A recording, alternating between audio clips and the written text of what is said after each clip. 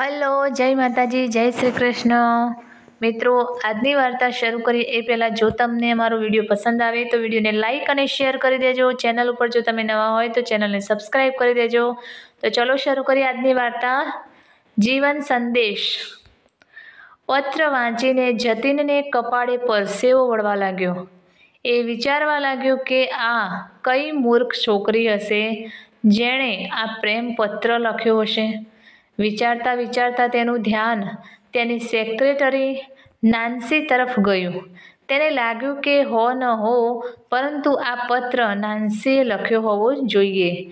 એની નજરમાં કાયમ સ્નેહની સરવાણી નજરે પડતી. તરત તેણે નાન્સીને કેબિનમાં બોલાવી.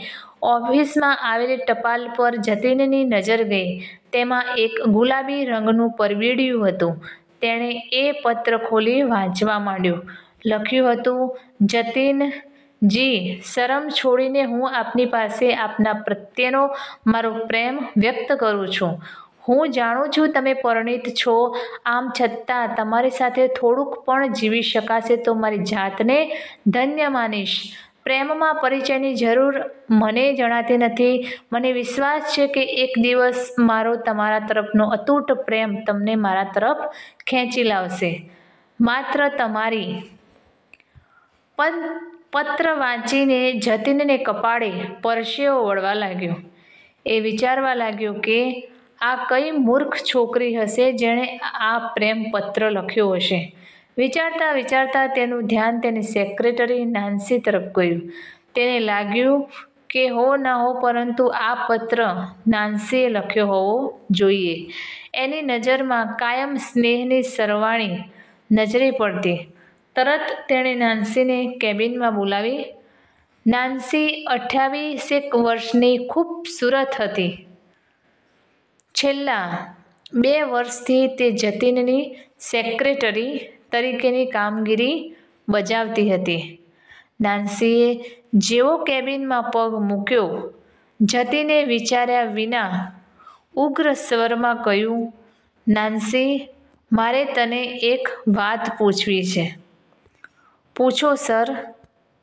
નાન્સી નમ્ર ભાવે બોલી, હું એ જાણવા માગું છું કે પ્રેમની બાબતમાં તારો મત શો છે? મતલબ, સર, મતલબ એ કે તું કોઈ પરણેલા પુરુષને પ્રેમ કરી શકે ખરી? જતીને સવાલ કર્યો. નાન્સીની આંખો આશ્ચર્યથી વિસ્ફારિત થઈ ગઈ. અવાજમાં થોડા દર્દ સાથે બોલી, સર, તમે તો મારા મોટા ભાઈ જેવા છો. હું તમારો ઘણો જ આદર કરું છું. તમે મારા વિશે આટલી હલકી વાત વિચારી જ કઈ રીતે શકો? જતીનને લાગ્યું કે તે ભૂલ કરી બેઠો હતો. નાન્સી આવું કદી કરે જ નહીં. તે બોલ્યો નાન્સી, તારી ઉંમરની છોકરીઓ ક્યારેક આડા રસ્તા પર ચડી જતી હોય છે? ઘરમાં માત્ર તારી માતા છે, એટલે આવો સવાલ કરીને તને ધીરજ બંધાવવા ઈચ્છું છું કે તારો એક ભાઈ છે જે તારી ચિંતા કરે છે. નાન્સીના ચહેરા પર પ્રસન્નતા ઝળકી ઉઠી. તેણે કૃતજ્ઞતા સાથે જતીન તરફ નજર કરી. કેબિન બહાર ચાલી ગઈ. જતીને સંતોષનો શ્વાસ લીધો. અણીને ટાંકણે તેણે વાતને સંભાળી લીધી હતી. ત્યારબાદ તે તેના મિત્ર ગૌતમ પાસે ગયો. ગૌતમ જતીનનો ઘનિષ્ઠ મિત્ર હતો. પેલો પત્ર વાંચીને હસી પડી પડી બોલ્યો, દોસ્ત, તારા લગ્ન પહેલાં તારી પાછળ અનેક યુવતો મરી પડતી હતી. લગ્ન પછી પણ તારી ડિમાન્ડ ઓછી થઈ હોય એવું લાગતું નથી. તને હસવું આવે છે અને અહીં મારો જીવ જાય છે. જતીન ચીડાઈને બોલ્યો, કોઈ મૂર્ખ છોકરીએ પત્ર લખ્યો છે? પરંતુ આ પત્રથી શું ફરક પડે છે? તું આટલો પરેશાન શા માટે છે? તું તો જાણે જ છે, ગૌતમ નિધિ કેટલી શંકાશીલ છે. જો તેને આ પત્ર વિશે જરા સરખી ગંધ આવી, તો એ રાયનો પહાડ બનાવી દેશે. ભાભીને આ વાતની કદાપી જાણ નહીં થાય તો નક્કામી ચિંતા કરે છે. આરામથી ચા પી. ગૌતમે જતીનને હૈયા ધારણ આપતા કહ્યું. ત્યારબાદ સીમાને ચા લાવવા કહ્યું. જતીન ઘરે પહોંચ્યો ત્યારે સાંજના સાત થયા હતા. પત્ની નિધિ બહાર દરવાજા પર પ્રતીક્ષા કરતી ઊભી હતી. જતીનને જોતાં જ બોલી, ક્યાં ચાલી ગયા હતા તમે? ક્યારની વાટ જોઈ રહી છું તમારી?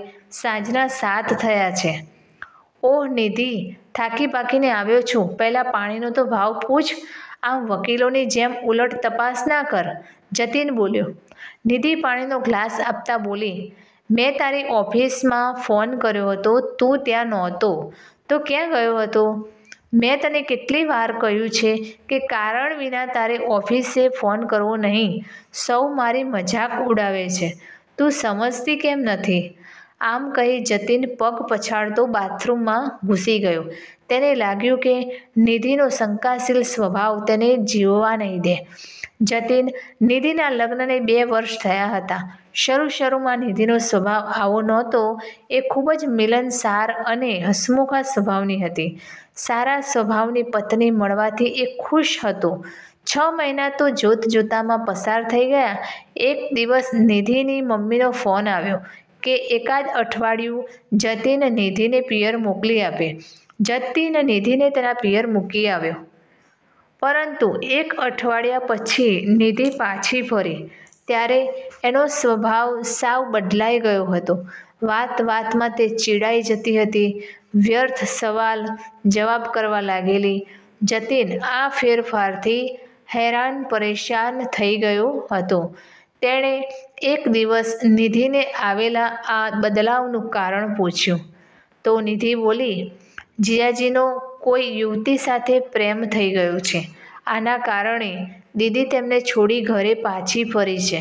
શું તારી બહેન પોતાનું ઘર છોડી આવી છે? જતીન ચોંકી ઉઠતા બોલ્યો, પરંતુ આ બધું બન્યું ક્યારે?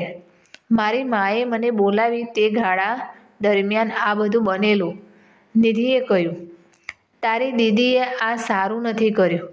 જતીને વિચારીને પોતાનો મત પ્રકટ કર્યો. એનો અર્થ શું? નિધિ બોલી, જો પુરુષ બેવફાઈ કરે, તો ત્યાં રહીને શું તેણે ગુલામી કરવાની? સવાલ ગુલામીનો નથી નિધિ આવી રીતે પોતાનું ઘર છોડીને આવતા રહેવું ઉચિત નથી.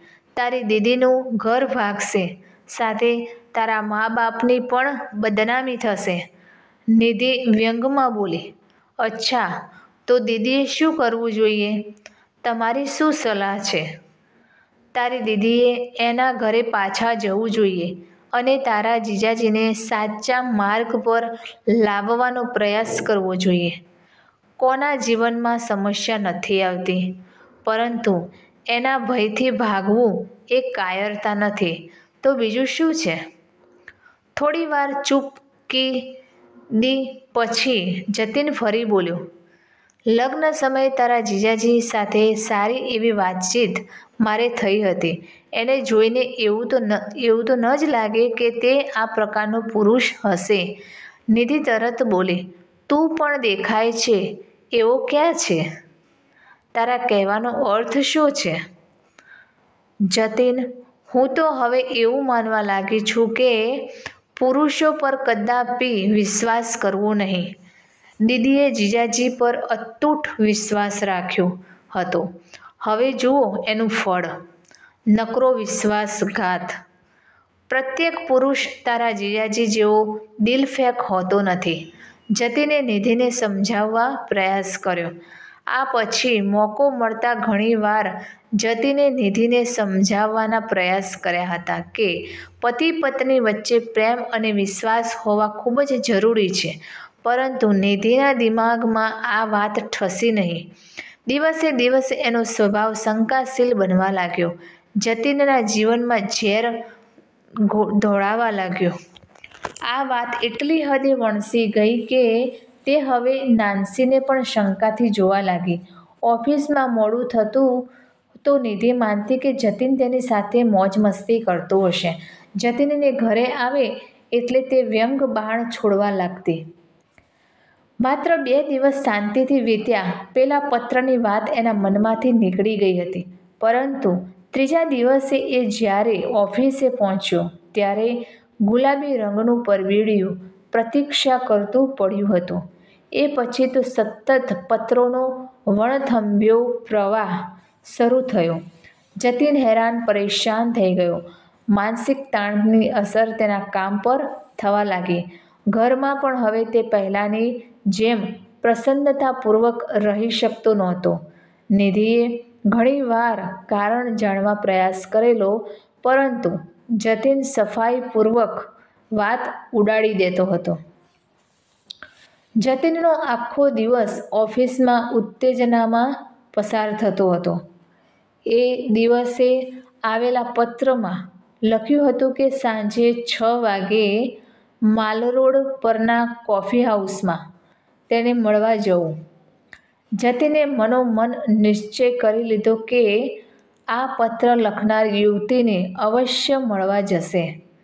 એ જોવા માગતો હતો કે એ મૂર્ખ છોકરી કોણ છે? એ શા માટે પત્રો લખીને તેને હેરાન, પરેશાન કરી રહી છે? એનું કારણ જાણી એ એને સમજાવવા ઈચ્છતો હતો કે તેણે તેનો પીછો છોડી દેવો જોઈએ. બરાબર છના ટકોરે એ ઓફિસેથી બહાર જવા નીકળ્યો. તેણે ઘરે જઈને થોડા વધુ પૈસા લેવા વિચાર કર્યો. પરંતુ એણે જેવો કેબિન બહાર પગ મૂક્યો, ત્યાં જ ચોકીદારે કહ્યું કે કંપનીના ડાયરેક્ટર સાહેબે તેને બોલાવ્યો છે. જતીન હળબળી ઉઠ્યો. પરંતુ કંપનીના ડાયરેક્ટરના આદેશને ઉવેખી શકાય તેમ હતું નહીં. તેમને મળવા જતીન તેમને ઘરે ગયો. અને જ્યારે ઘરે પહોંચ્યો, ત્યારે નિધિ એની સખીને ત્યાં ગઈ હતી. જતીન પાસે ડુપ્લિકેટ ચાવી તો હતી જ. તાળું ખોલી એ ઘરમાં બેઠો. કપડાં બદલી એ કબાટની ચાવી શોધવા લાગ્યો. પરંતુ ચાવી તેના રોજના સ્થાને હતી નહીં. જતીને નિધિનો વોર્ડરોબ ખોલ્યો. એકાદ બે સાડી નીચે નિધિ ચાવી છુપાવી રાખતી હતી. તેણે સાડી હટાવી, પર્સ ઉઠાવી, ત્યાં એક ડાયરી સરકીને નીચે પડી ગઈ. જતીને તે ઉઠાવી લીધી અને ઉત્સુકતા સાથે ખોલી અને વાંચવા માંડી. વાંચતાની સાથે જ તેના પગ નીચેની ધરતી ઘસતી હોય તેવું લાગ્યું. ઓરડાની દિવાલો ફરતી લાગી. એ પાસે પડેલી ખુરશી પર બેસી ગયો. ડાયરીનું તમામ લખાણ જતીનને ઓફિસમાં મળેલા પત્રોને મળતું આવતું હતું. આનો અર્થ એ થયો કે નિધિ જ પેલા પત્રો લખતી હતી. પરંતુ શા માટે? શું તે જતીનના ચારિત્ર્યની પરીક્ષા લેવાની ઈચ્છા રાખતી હતી? એ જાણવા માગતી હતી કે જતીન તેની આ અજાણી પ્રેમિકાને જે વાસ્તવમાં એ ખુદ હતી તેને કોફી હાઉસમાં મળવા જાય છે કે નહીં?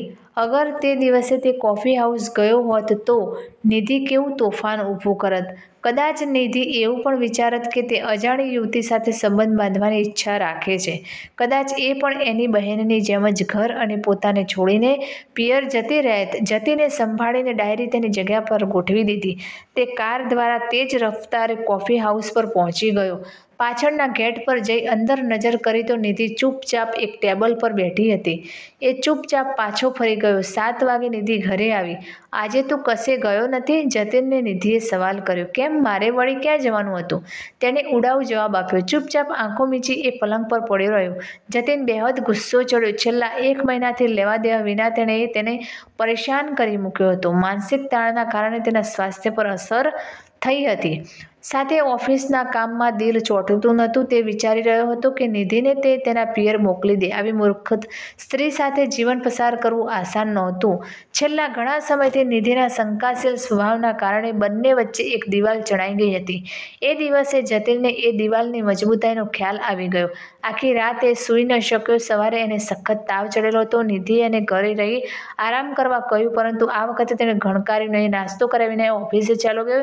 નિધિ એને આ રીતે જોઈ પરેશાન થઈ ગઈ. ઓફિસ જઈ તેને મિત્ર ગૌતમને ફોન કર્યો. ગૌતમ આવી પહોંચ્યો. ગૌતમ આવતા સીધો સવાલ કર્યો, બોલ, મને શા માટે બોલાવ્યો છે? જતીને પેલા પત્રો અંગે વિતવાર વાત કરીને ઉમેર્યું કે પેલા પત્રો લખનારી નિધિ જ હતી. આ વાત સાંભળી ગૌતમ ચોંકી ગયો. તે બોલ્યો, તે આ અંગે ભાભી કશી વાતચીત કરી છે? ના ગૌતમ, મેં કોઈ વાત કરી નથી. સાચી વાત કરું તો ગઈકાલની થી મને તેના તરફ ખૂબ નફરત થવા લાગી છે. તું નથી જાણતો, પરંતુ છેલ્લા એક મહિનાથી હું કેટલો હેરાન, પરેશાન થઈ ગયો છું. એના શંકાશીલ સ્વભાવના કારણે મેં પત્રો અંગે જરા સરખી વાત કરી નથી. મને ભય તો એ વાતનો છે કે અગર આવી કોઈ પત્ર ઘરના સરનામે આવશે તો શું થશે? પરંતુ આવો કોઈ પત્ર ઘરે ન આવ્યો. ત્યાં મને જાણ થઈ કે પત્રો નિધિ જ લગતી હતી. હવે અમારો સંબંધ તૂટી જ પડશે. એ વાતમાં શંકાને કોઈ સ્થાન છે જ નહીં. ગૌતમ કેટલીક ક્ષણ ચૂપ રહી વિચારતો રહ્યો, પછી બોલ્યો, જતીન થોડા ઠંડા દિમાગથી વિચારી જો, આ એક કારણ સિવાય તારે ભાભી સામે કશી ફરિયાદ છે ખરી? આ એક જ ખામી નાની સુની થોડી જ છે. આ ખામીને સહન કરવી કષ્ટદાયક છે. જતીન કડવાશપૂર્વક બોલ્યો, ના જતીન, ગૌતમ સમજણ પાડતા કહ્યું, આ કંઈ મોટી ખામી ન કહી શકાય. આ ખામી દૂર દૂર ન કરી શકાય તેવું પણ નથી. તારા કહેવાનો મતલબ જતીને ચોકી જઈને સામો સવાલ કર્યો. હા દોસ્ત, ભાભીને તેમની ભાષામાં જ સમજાવી રહી. મને વિશ્વાસ છે કે એ એના કારણે તેમની આ ખામી પણ દૂર કરી શકશે. એટલું જ નહીં, એ પહેલાંની જેમ રમતિયાળ અને હસમુખી બની જશે. બે દિવસ પછી નિધિએ એક પત્ર મળ્યો. ટપાલી તો ટપાલ નાખી ચાલી ગયો હતો. જેવો નિધિએ પત્ર ખોલી વાંચ્યો, તો તેના પગ નીચેની ધરતી સરકવા લાગી. પત્રમાં લખ્યું હતું, નિધિ તું કદાચ મને ભૂલી ગઈ હોઈશ, પરંતુ હું હજુ સુધી ભૂલ્યો નથી. એ દિવસોની તારી મહેક આજે પણ મારી સ્મૃતિમાં તાજી છે. તારી પાસે આવી રહ્યો છું. ફરી આપણા પ્રેમને યાદગાર બનાવવા. માત્ર તારો જ. નિધિના શ્વાસો શ્વાસ જાણે કે અટકી ગયા. તેની નજર સામે અંધકાર છવાઈ ગયો. તેને લાગ્યું કે પત્ર જરૂર જરૂર રાહુલનો હોવો જોઈએ. રાહુલ તેની સાથે બીએમાં ભણતો હતો. ત્યારે તેની સાથે એ પ્રેમના ચક્કરમાં ફસાઈ હતી. પરંતુ એને બહુ જલ્દી જાણ થઈ ગઈ હતી કે રાહુલ સારો છોકરો નહોતો.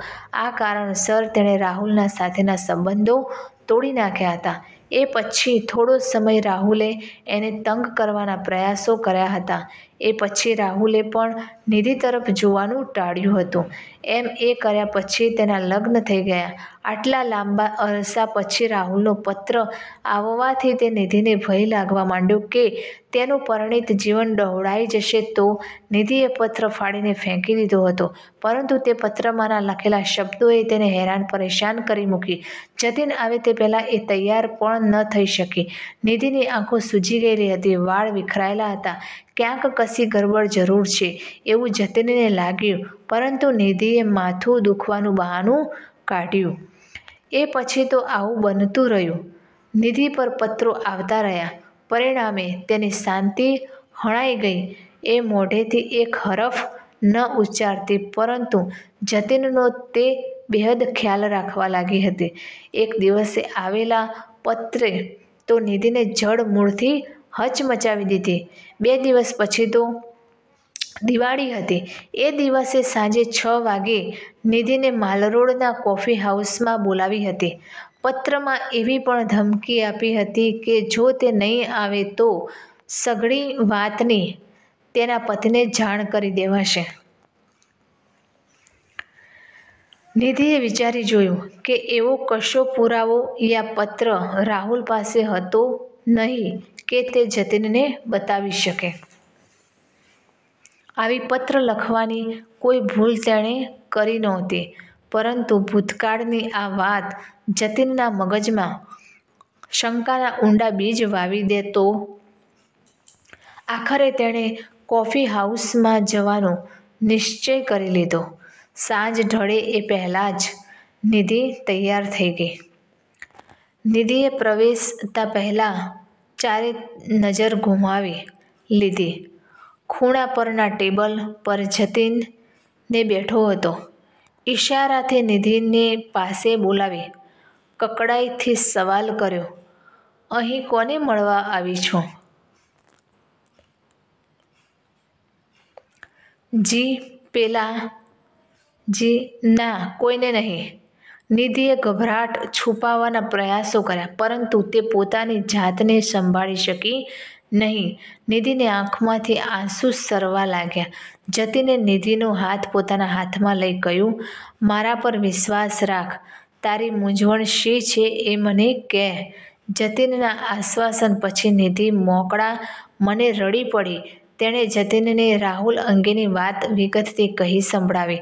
આવેલા પ્રેમપત્રો પણ સામે ધરી દીધા, જે એને ઘર પર મળ્યા હતા. આ બધું સાંભળવા છતાં જતીન તો આંખો બંધ કરીને મૂંગો બેઠો રહ્યો.